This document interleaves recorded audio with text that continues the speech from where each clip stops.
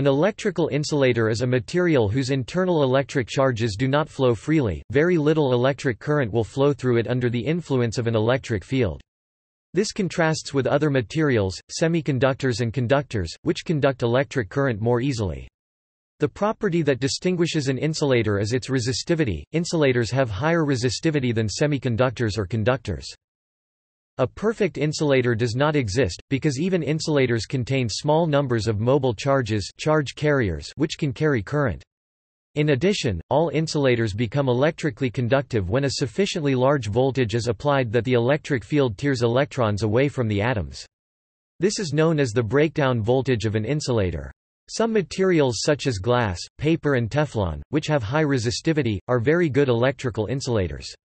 A much larger class of materials, even though they may have lower bulk resistivity, are still good enough to prevent significant current from flowing at normally used voltages, and thus are employed as insulation for electrical wiring and cables.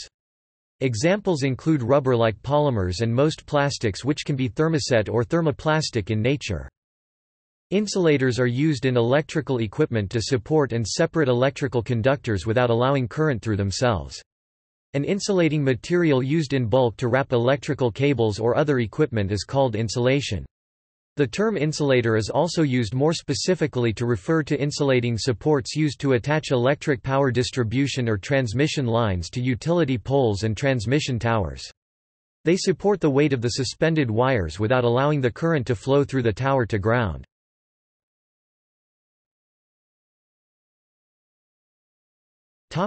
Physics of conduction in solids Electrical insulation is the absence of electrical conduction. Electronic band theory a branch of physics says that a charge flows if states are available into which electrons can be excited. This allows electrons to gain energy and thereby move through a conductor such as a metal. If no such states are available, the material is an insulator. Most though not all, see Mott insulator insulators have a large band gap. This occurs because the valence band containing the highest energy electrons is full, and a large energy gap separates this band from the next band above it. There is always some voltage called the breakdown voltage that gives electrons enough energy to be excited into this band.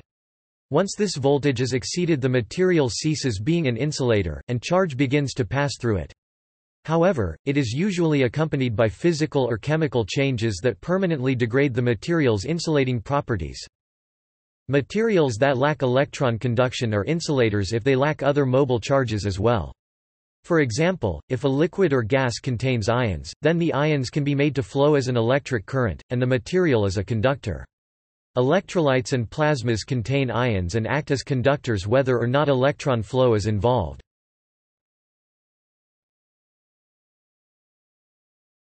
Topic: Breakdown.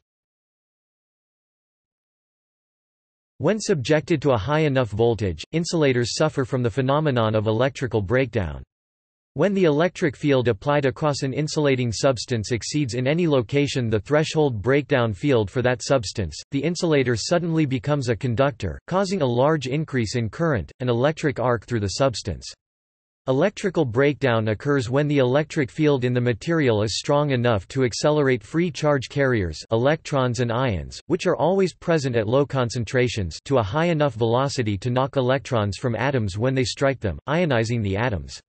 These freed electrons and ions are in turn accelerated and strike other atoms, creating more charge carriers, in a chain reaction. Rapidly the insulator becomes filled with mobile charge carriers, and its resistance drops to a low level. In a solid, the breakdown voltage is proportional to the band gap energy. When corona discharge occurs, the air in a region around a high-voltage conductor can break down and ionize without a catastrophic increase in current. However, if the region of air breakdown extends to another conductor at a different voltage it creates a conductive path between them, and a large current flows through the air, creating an electric arc. Even a vacuum can suffer a sort of breakdown, but in this case the breakdown or vacuum arc involves charges ejected from the surface of metal electrodes rather than produced by the vacuum itself. In addition, all insulators become conductors at very high temperatures as the thermal energy of the valence electrons is sufficient to put them in the conduction band. In certain capacitors, shorts between electrodes formed due to dielectric breakdown can disappear when the applied electric field is reduced.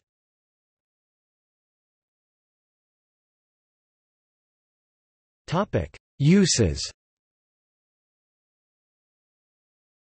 A very flexible coating of an insulator is often applied to electric wire and cable, this is called insulated wire. Wires sometimes don't use an insulating coating, just air, since a solid e.g. plastic coating may be impractical. However, wires that touch each other produce cross-connections, short circuits, and fire hazards. In coaxial cable the center conductor must be supported exactly in the middle of the hollow shield to prevent EM-wave reflections. Finally, wires that expose voltages higher than 60 volts can cause human shock and electrocution hazards. Insulating coatings help to prevent all of these problems. Some wires have a mechanical covering with no voltage rating e.g., service drop, welding, doorbell, thermostat wire. An insulated wire or cable has a voltage rating and a maximum conductor temperature rating. It may not have an ampacity current carrying capacity rating, since this is dependent upon the surrounding environment e.g. ambient temperature. In electronic systems, printed circuit boards are made from epoxy plastic and fiberglass. The nonconductive boards support layers of copper foil conductors. In electronic devices, the tiny and delicate active components are embedded within nonconductive epoxy or phenolic plastics, or within baked glass or ceramic coatings. In microelectronic components such as transistors and ICs, the silicon material is normally a conductor because of doping, but it can easily be selectively transformed into a good insulator by the application of heat and oxygen. Oxidized silicon is quartz, i.e. silicon dioxide, the primary component of glass. In high-voltage systems containing transformers and capacitors, liquid insulator oil is the typical method used for preventing arcs.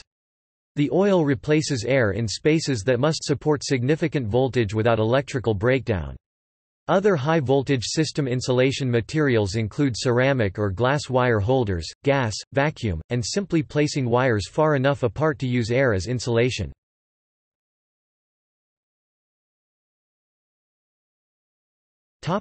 Telegraph and power transmission insulators Overhead conductors for high-voltage electric power transmission are bare, and are insulated by the surrounding air. Conductors for lower voltages in distribution may have some insulation but are often bare as well. Insulating supports called insulators are required at the points where they are supported by utility poles or transmission towers. Insulators are also required where the wire enters buildings or electrical devices, such as transformers or circuit breakers, to insulate the wire from the case. These hollow insulators with a conductor inside them are called bushings.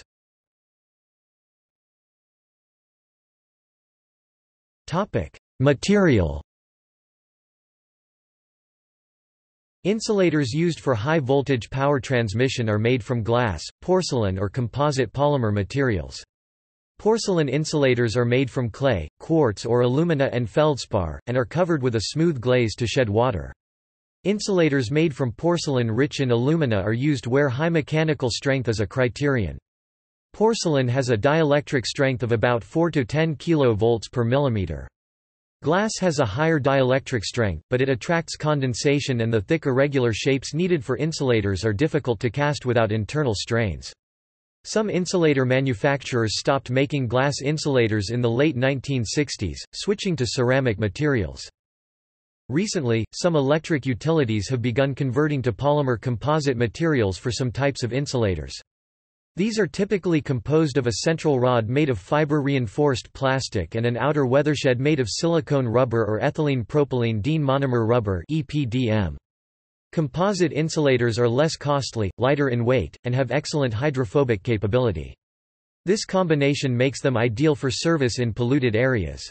However, these materials do not yet have the long-term proven service life of glass and porcelain.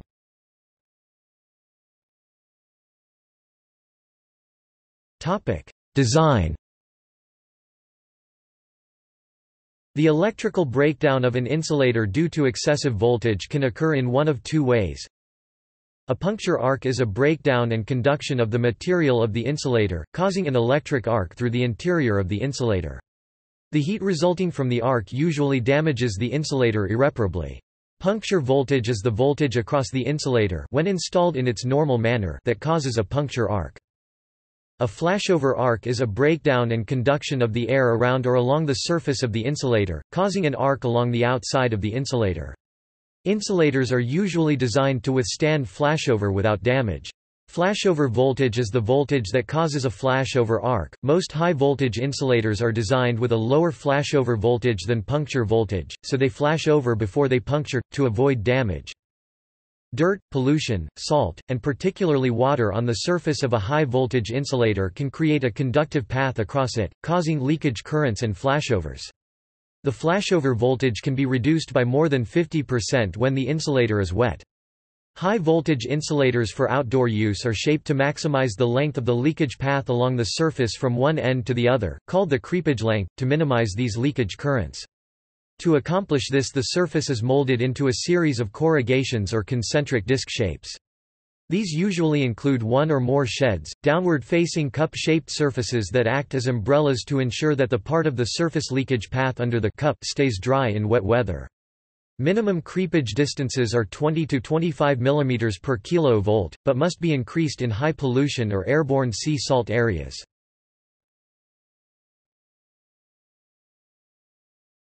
Types of insulators. These are the common classes of insulator. Pin-type insulator, as the name suggests, the pin-type insulator is mounted on a pin on the cross arm on the pole. There is a groove on the upper end of the insulator. The conductor passes through this groove and is tied to the insulator with annealed wire of the same material as the conductor. Pin-type insulators are used for transmission and distribution of communications, and electric power at voltages up to 33 kV. Insulators made for operating voltages between 33 kV and 69 kV tend to be very bulky and have become uneconomical in recent years. Post-insulator, a type of insulator in the 1930s that is more compact than traditional pin-type insulators and which has rapidly replaced many pin-type insulators on lines up to 69 kV and in some configurations, can be made for operation at up to 115 kV. Suspension insulator, for voltages greater than 33 kV, it is a usual practice to use suspension-type insulators, consisting of a number of glass or porcelain discs connected in series by metal links in the form of a string.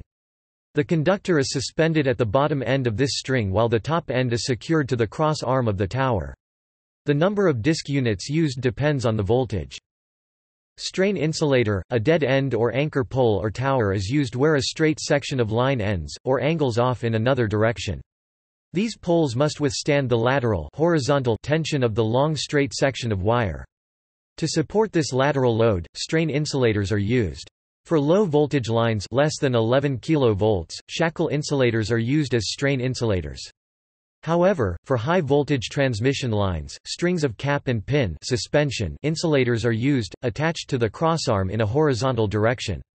When the tension load in lines is exceedingly high, such as at long river spans, two or more strings are used in parallel. Shackle insulator – In early days, the shackle insulators were used as strain insulators. But nowadays, they are frequently used for low-voltage distribution lines. Such insulators can be used either in a horizontal position or in a vertical position. They can be directly fixed to the pole with a bolt or to the cross arm. Bushing, enables one or several conductors to pass through a partition such as a wall or a tank, and insulates the conductors from it. Line post insulator Station post insulator Cutout Topic Suspension insulators Pin-type insulators are unsuitable for voltages greater than about 69 kV line-to-line. Higher transmission voltages use suspension insulator strings, which can be made for any practical transmission voltage by adding insulator elements to the string. Higher voltage transmission lines usually use modular suspension insulator designs. The wires are suspended from a string of identical disc-shaped insulators that attach to each other with metal clevis pin or ball and socket links. The advantage of this design is that insulator strings with different breakdown voltages, for use with different line voltages, can be constructed by using different numbers of the basic units. Also, if one of the insulator units in the string breaks, it can be replaced without discarding the entire string. Each unit is constructed of a ceramic or glass disc with a metal cap and pin cemented to opposite sides. To make defective units obvious, glass units are designed so that an overvoltage causes a puncture arc through the glass instead of a flashover. The glass is heat-treated so it shatters, making the damaged unit visible. However the mechanical strength of the unit is unchanged, so the insulator string stays together.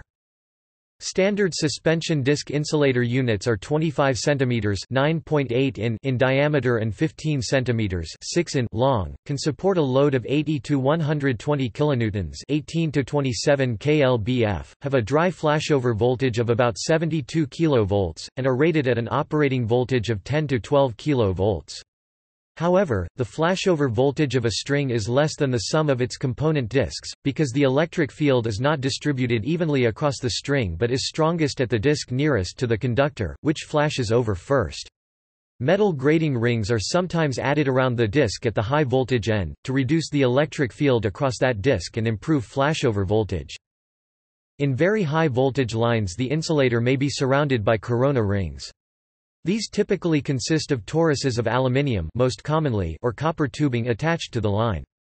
They are designed to reduce the electric field at the point where the insulator is attached to the line, to prevent corona discharge, which results in power losses.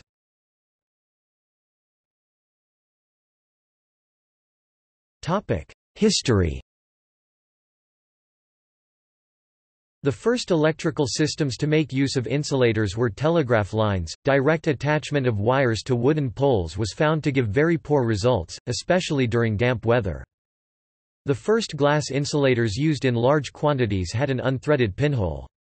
These pieces of glass were positioned on a tapered wooden pin, vertically extending upwards from the pole's crossarm commonly only two insulators to a pole and maybe one on top of the pole itself. Natural contraction and expansion of the wires tied to these threadless insulators resulted in insulators unseating from their pins, requiring manual reseating. Amongst the first to produce ceramic insulators were companies in the United Kingdom, with Stiff and Doulton using stoneware from the mid-1840s, Joseph Bourne later renamed Denby producing them from around 1860 and Bullers from 1868. Utility patent number 48906 was granted to Louis A. Cauvet on 25 July 1865 for a process to produce insulators with a threaded pinhole. Pin-type insulators still have threaded pinholes. The invention of suspension-type insulators made high-voltage power transmission possible. As transmission line voltages reached and passed 60,000 volts, the insulators required become very large and heavy, with insulators made for a safety margin of 88,000 volts being about the practical limit for manufacturing and installation. Suspension insulators, on the other hand, can be connected into strings as long as required for the line's voltage. A large variety of telephone, telegraph and power insulators have been made, some people collect them, both for their historic interest and for the aesthetic quality of many insulator designs and finishes. One collectors organization is the U.S. National Insulator Association, which has over 9,000 members.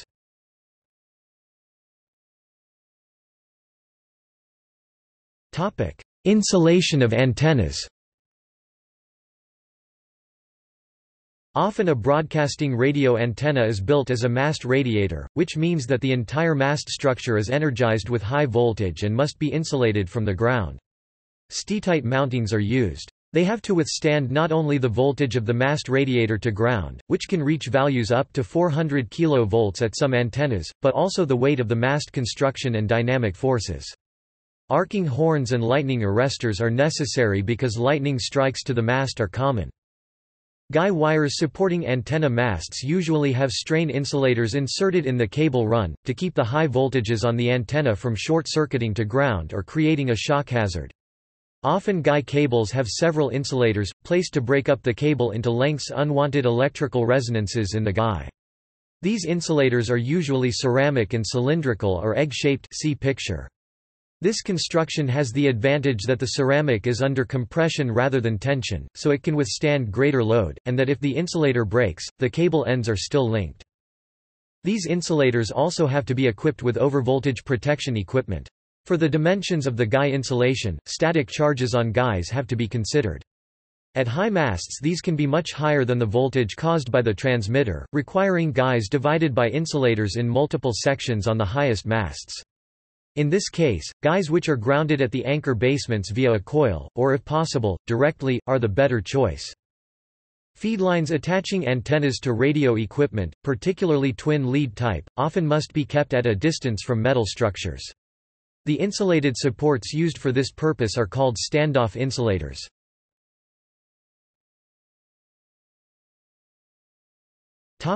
Insulation in electrical apparatus The most important insulation material is air. A variety of solid, liquid, and gaseous insulators are also used in electrical apparatus. In smaller transformers, generators, and electric motors, insulation on the wire coils consists of up to four thin layers of polymer varnish film. Film-insulated magnet wire permits a manufacturer to obtain the maximum number of turns within the available space. Windings that use thicker conductors are often wrapped with supplemental fiberglass insulating tape. Windings may also be impregnated with insulating varnishes to prevent electrical corona and reduce magnetically induced wire vibration. Large power transformer windings are still mostly insulated with paper, wood, varnish, and mineral oil. Although these materials have been used for more than 100 years, they still provide a good balance of economy and adequate performance. Bus bars and circuit breakers in switchgear may be insulated with glass-reinforced plastic insulation, treated to have low flame spread and to prevent tracking of current across the material. In older apparatus made up to the early 1970s, boards made of compressed asbestos may be found. While this is an adequate insulator at power frequencies, handling or repairs to asbestos material can release dangerous fibers into the air and must be carried cautiously. Wire insulated with felted asbestos was used in high-temperature and rugged applications from the 1920s. Wire of this type was sold by General Electric under the trade name Deltabeston. Live front switchboards up to the early part of the 20th century were made of slate or marble. Some high-voltage equipment is designed to operate within a high-pressure insulating gas such as sulfur hexafluoride. Insulation materials that perform well at power and low frequencies may be unsatisfactory at radio frequency, due to heating from excessive dielectric dissipation. Electrical wires may be insulated with polyethylene, cross-linked polyethylene either through electron beam processing or chemical crosslinking, PVC, Kapton, rubber-like polymers, oil-impregnated paper, Teflon, silicone, or modified ethylene tetrafluoroethylene ETFE. Larger power cables may use compressed inorganic powder, depending on the application. Flexible insulating materials such as PVC polyvinyl chloride are used to insulate the circuit and prevent human contact with a live wire, one having voltage of 600 volts or less. Alternative materials are likely to become increasingly used due to EU safety and environmental legislation making PVC less economic.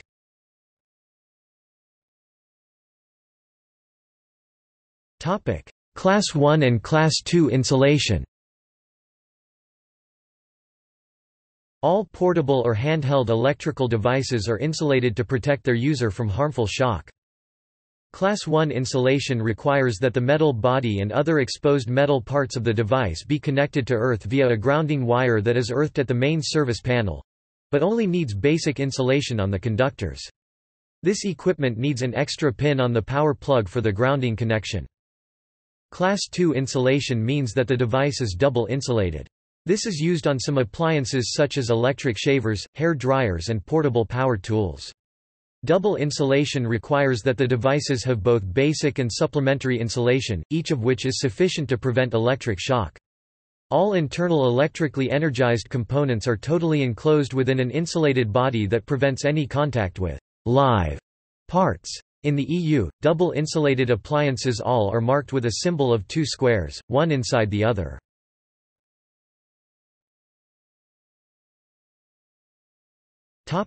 See also. Notes